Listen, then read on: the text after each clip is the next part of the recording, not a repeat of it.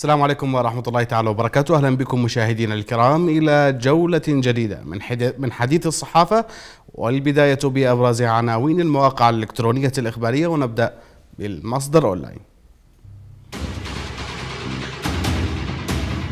المصدر أونلاين. الحكومة تطلب عقد جلسة خاصة حول صافر في مجلس الأمن وتدعو لإلزام الحوثي بحل المشكلة قبل وقوع الكارثة.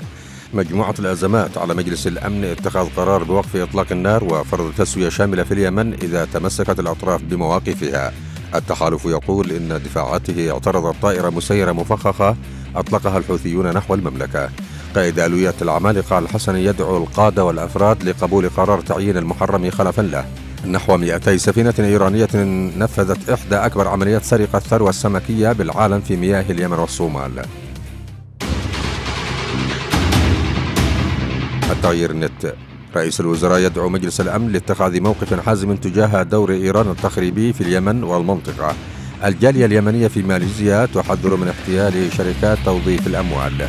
لجنة الطوارئ تسجل 31 إصابة بفيروس كورونا وسبع حالات وفاة. افتتاح مخيم جديد بمارب لإيواء 400 أسرة نازحة من الجوف.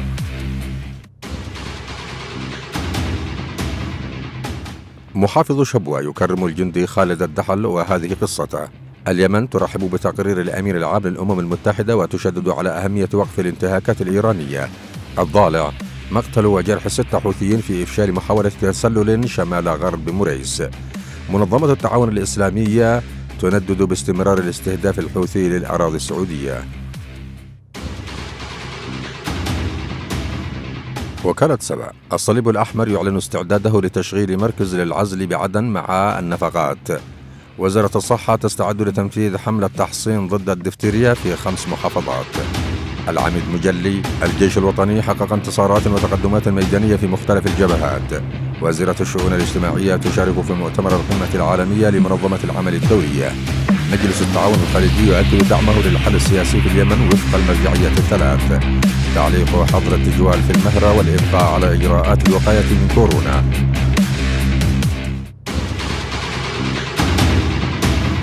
العاصمة الليل. سياسي عربي. ترك اليمن للحوثي يعني حروبا لا تنتهي وأخطارا دائمة على الخليج. تويتر تحذف استخدام كلمة سيد وعبد لمكافحة العنصرية. رابطة حقوقية. الحوثية تخفي مختطفة قسريا وندعو الأمم المتحدة للتدخل. هدم وخلع اللوحات التعريفية. ميليشيات الحوثي تعتدي على مقبرة شهداء فبراير بصنعاء. قبائل مارب المساندة للجيش الوطني. صفعات متتالية في خد الميليشيات الحوثية. العميد الشدادي. الميليشيات تكبدت خسائر فادحة ومعركتنا مستمرة حتى تحرير الوطن. الحكومة تؤكد أن الاهتمام بالجيش الوطني والمقاومة أولوية قصوى. الحكومة تسد ذرائع افتعال الحوثي أزمة الوقود وتسمح لسفن المشتقات دخول ميناء الحديدة. سبتمبر نت. وزير الشباب والرياضة ل 26 سبتمبر القيادة السياسية حريصة كل الحرص على دماء اليمنيين. اليمن يرحب بتقرير الأمين العام للأمم المتحدة بشأن إيران وتنفيذ قرار مجلس الأمن رقم 2231 و 2015 رئيس الوزراء يعز اللواء علي عبد الرب القاضي باستشهاد حفيده. الإصلاح نت. ميليشيا الحوثي تجبر عشرات المهمشين في إب على القتال في صفوفها. الحكومة إيران تواصل دورها التخريبي في اليمن وعلى مجلس الأمن اتخاذ موقف حازم. رايت واتش كورونا يهدد حياة محتجزين في سجن بئر أحمد بعدن إصلاح حضرموت يعزي في وفاة الشيخ عوض الجابري. رايت واتش كورونا يهدد حياة محتجزين في سجن بئر أحمد بعدن سهل نت مقتل وجرح ستة حوثيين بإحباط محاولة تسلل شمال الضالع.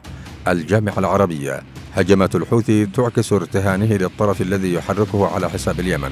الخارجية المصرية ممارسات ميليشيا الحوثي الإرهابية تدفع باليمن إلى الفوضى. النائب شوقي القاضي لسهيل نت كل كيان مسلح لا يعترف بالشرعية فهو ميليشيا.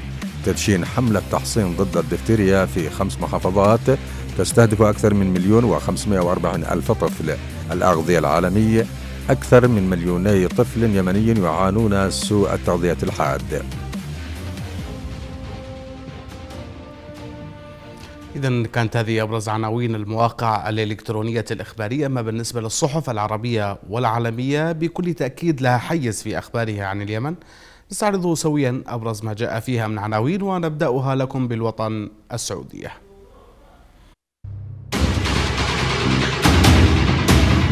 الوطن السعودية. التحالف ينفذ عملية تحييد قدرات ميليشيا اليمن. الرياض وواشنطن تدعوان لتمديد حظر الأسلحة على إيران.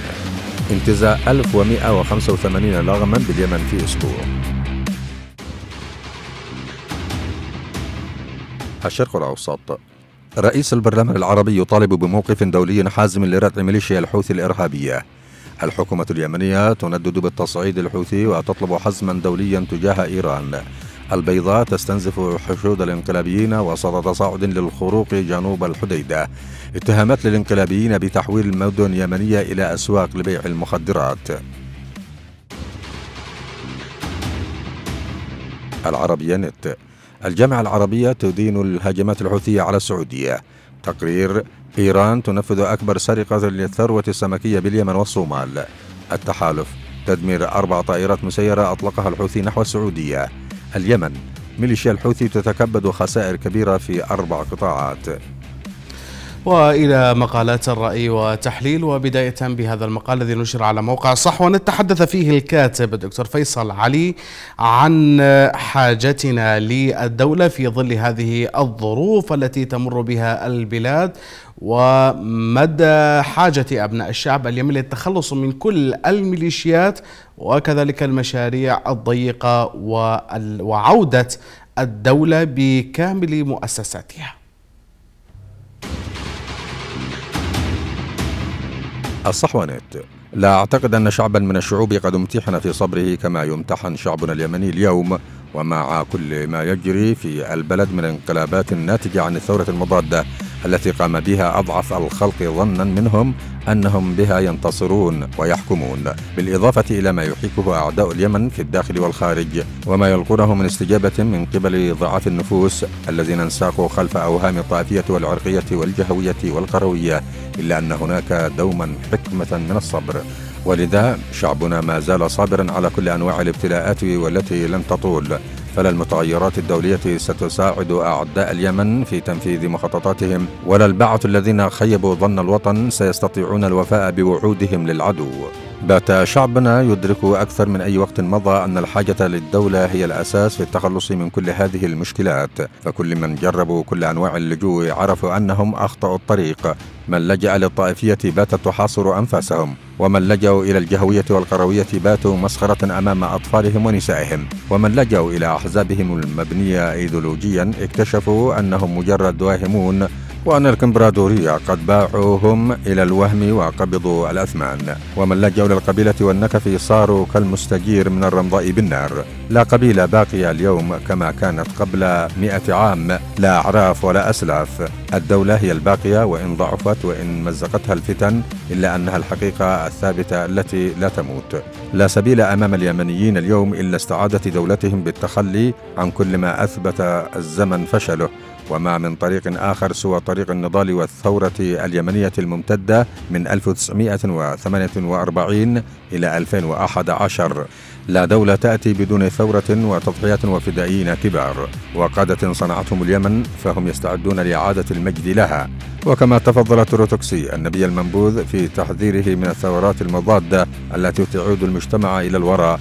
إذ أنها تفرغ عقول الناس من فكرة الهوية والأمة والدولة والوطن وتعيدهم إلى قبائل وعشائر وطائفية وعرقيات قومية بدائية قد عفى عليها الزمن. وحدها الثورة بحسب تروتوكسي من تنقل المجتمع من وهم الماضي ومخلفاته إلى المستقبل من القبيلة إلى الدولة ومن الرعوي إلى المواطن ومن القروي إلى الوطني ومن الطائفي إلى الأممي ومن الخذلان إلى إعادة بناء الثقة.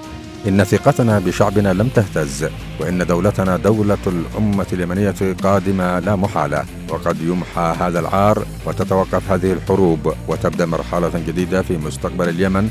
لا تشبه هذه اللحظة.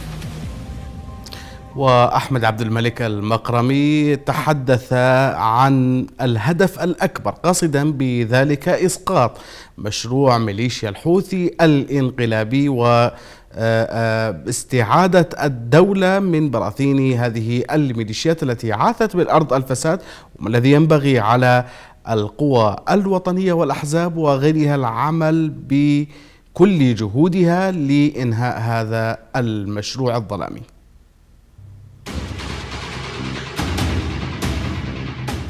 يمثل أمام اليمنيين هدف كبير وواجب عظيم هما أولى أولويات المجتمع.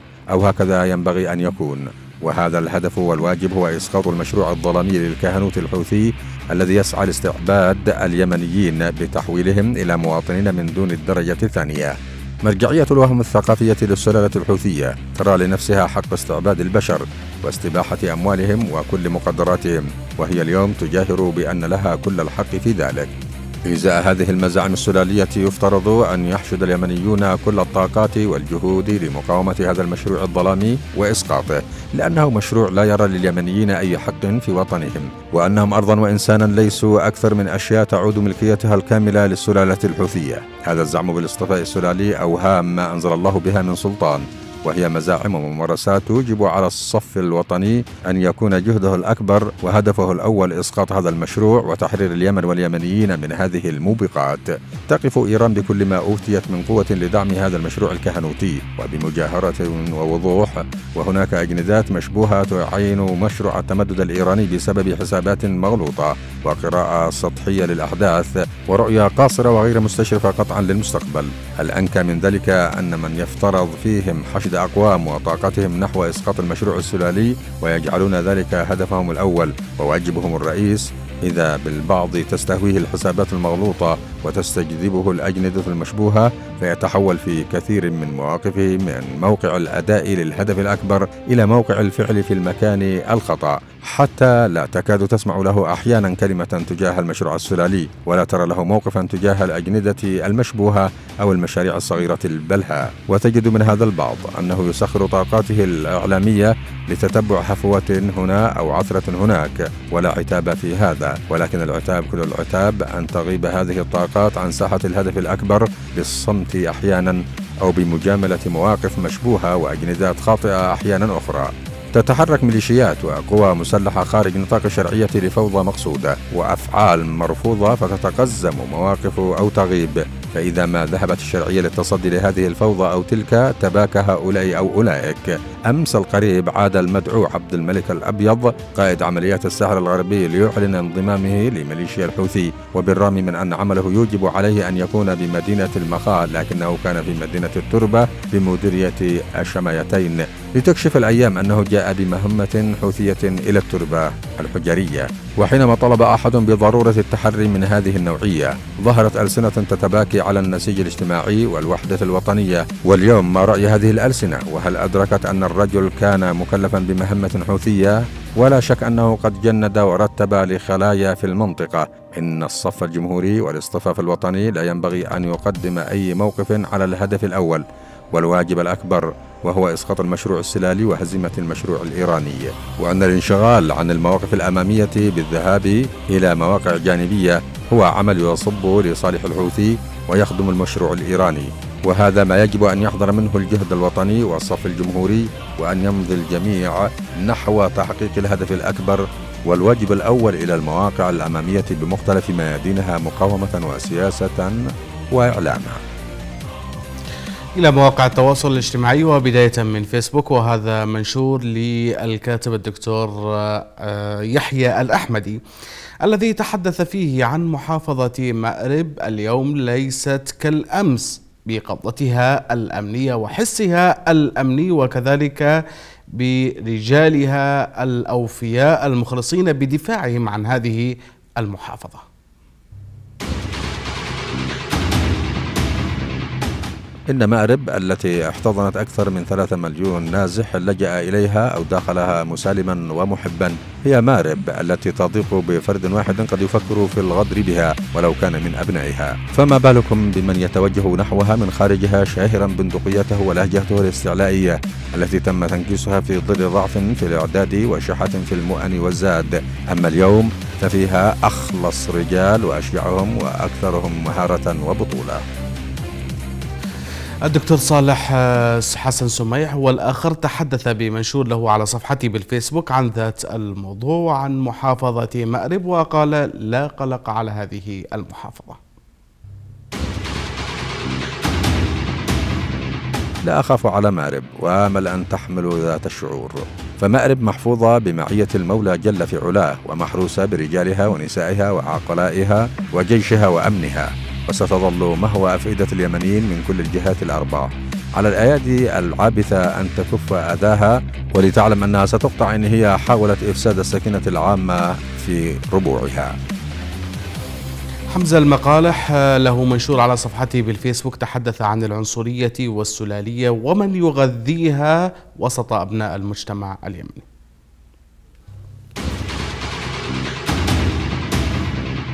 الأنساب والسلالات مجرد أوهام وخواطر كاذبة تحفز البعض على الامتلاء بالشعور الزائف بالفضل وهي العنصرية في أقبح صورها فهي تتجاهل حقيقة تقرها كل الأديان والثقافات وهي أن البشرية عائلة واحدة وأن معيار الفضل والمكانة هي في العلم والمعرفة والسلوك والإنتاج والتقدم. العقول المليئة بعفن العنصريات لا تحمل مشاريع للبقاء بل هي طفرة مؤقتة من طفرات العنف والفوضى. سرعان ما تزول وتتلاشى. ولأنها أمراض مزمنة وبدعة إبليس أنا خير منه فقد كان لزاما على الجميع أن يخوضوا غمار هذا التحدي والاختبار لمدى قدرتنا على مواجهتها بشكل سليم وصحيح. إلى تويتر وتغريدة لهمدان همدان العلي الذي غرد عن التمييز العنصري لدى ميليشيا الحوثي الإنقلابية.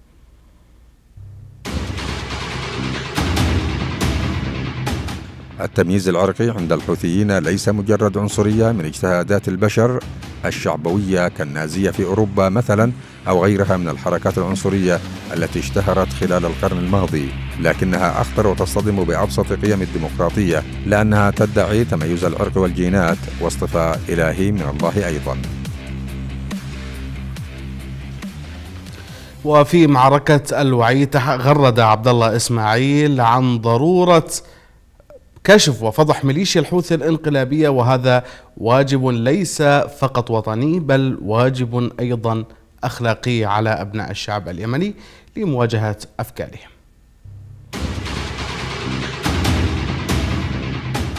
مساهمتك في معركة الوعي ضد عبث ميليشيا الحوثي الإرهابية. مؤشر على استيعابك للخطر الوجودي الذي تمثله هذه الجماعة. هذه المعركة ليست فقط مهمة وطنية بل واجب أخلاقي ومسؤولية تجاه جيل كامل يجري وبشكل ممنهج تدمير وعيه. ستلعننا تلك الأجيال ذات زمن قريب لأننا أسلمناهم للضياع.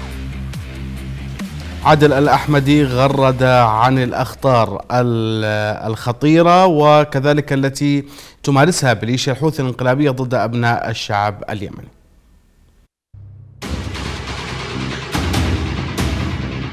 تكمن خطورة التهديد الذي تمثله جماعة الحوثي في كونها تجمع بين خمس أسلحة فتاكة البندقية والبارود المحرض الديني التكفيري العنصرية وادعاء أفضلية أسرة بعينها وأحقيتها بالحكم الكراهية والتحريض الارتباط العنصري بالمشروع الإيراني التخريبي بالمنطقة. والدكتور خالد له تغريدة عمن يحاول ضرب القوى الوطنية لعدم مواجهة كل المشاريع الصغيرة.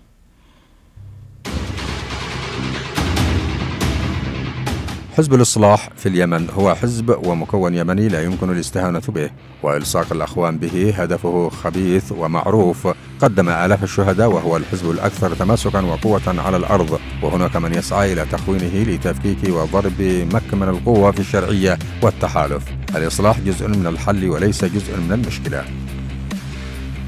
هذه التغريدة ليست للدكتور خالد إنما لممدوح الرفيد الذي تحدث فيها عن حزب الإصلاح. وإليكم آه، تغريدة علي الذي تحدث عن حكومة آه، عن الحكومة وعن الشراكات الفعلية والحقيقية للنهوض باليمن.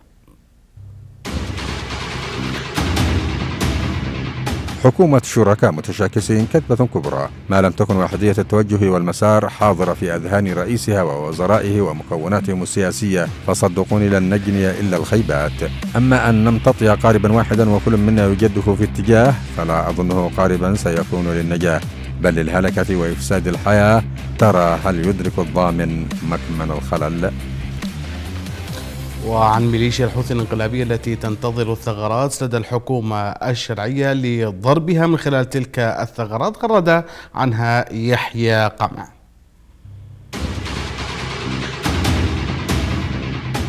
هل هذه حكومة يمنية حكومة لا تستطيع تحييد الوزارات الخدمية من الصراع حكومة في موقف المتفرج على الاتصالات أصبحت سلاح للحوثي يستهدفنا؟ تترك العملة القديمة في قبضة الميليشيات تترك الحاويات المالية للميليشيات الأخرى تترك الجيش بدون رواتب وتصرف رواتب الميليشيات وغيرها. ونور ناجي لها تغريدة عن محافظة مأرب ومن يحاول النيل من هذه المحافظة؟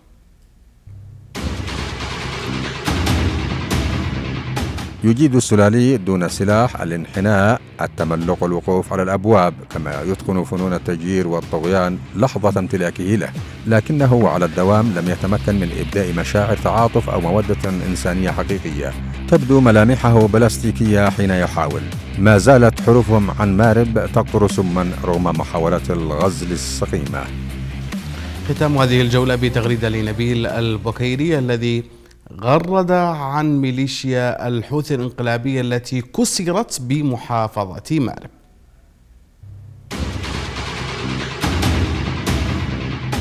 كانت قبيلة مراد هي المبتدأ والخبر. منذ كسرة الفرس الذين حاولوا الاستحواذ على اليمن والذين جاءوا بغطاء دعم سيف بن ذي يزن ضد الأحباش. وكانت مراد نفسها هي من أسقطت الإمامة بفعل البطل والزعيم اليمني العظيم علي ناصر القردعي الذي قتل كبير كهنة الإمامة يحيى حميد الدين عام 1948 ميلادية. مشاهدينا الكرام انتهت هذه الجولة. شكرا لكم على طيب المتابعة. في أمان الله.